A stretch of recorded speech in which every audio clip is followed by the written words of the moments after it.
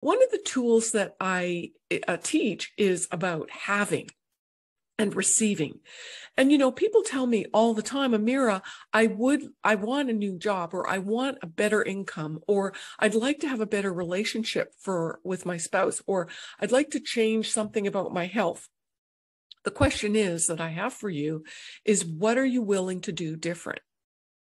You see, you if you had a crystal ball and you looked into that crystal ball, you can actually predict what your life is going to look like in one year from now based on your vibe, your energy, your thinking right now.